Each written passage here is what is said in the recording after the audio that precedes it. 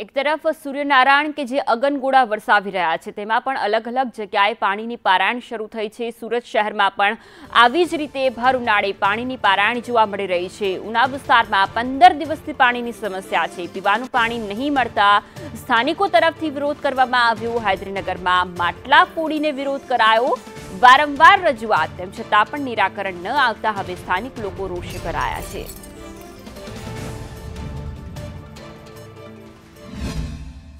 महीने से कितनी गर्मी पड़ रही है, इतनी ताव पड़ रही है। हम लोगों ने पानी नहाने के लिए तो दूर की बात है, पीने तक का पानी नहीं हम लोगों को मिल रहा है।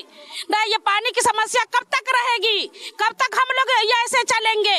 कि हम लोगों को पानी चाहिए? हम लोग पानी के लिए एकदम बिल्कुल परेशान, हैरान है। हम लोगों को पानी चाहिए ही। हम लोग को पानी एकदम बिल्कुल एक एक एक डेढ़ महीने से पानी के लिए बहुत परेशान हूँ, बहुत अब पानी आता है, दस मिनट भी पानी नहीं रहता है। इंसान को एक दो कलसी भी पानी नहीं मिल पाता पानी चला जाता महीने से पानी की परेशानी है।